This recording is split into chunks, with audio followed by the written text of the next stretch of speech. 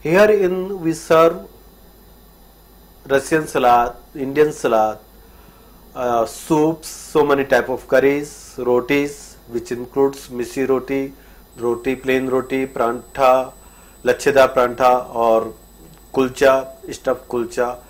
And a big uh, attraction is that we serve here is chaat, golgappa, dahi balla, papri tikki, our Indian sweets, uh, malpua, gulab jamun, and pastry and Bengali sweets also. And we have got a very good response in Hyderabad, which is more than our expectations.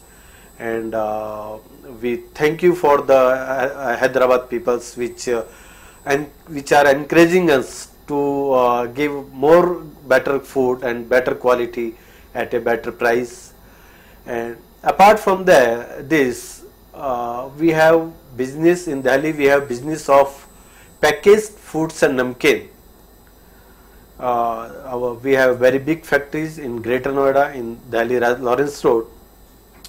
This packaged namkeens is like our Bikaneri bhujia, mixtures, and aloo chips and chips and uh, many other types of mixture which include khatta meetha, namkeen, kaju mixture and moong ki dal.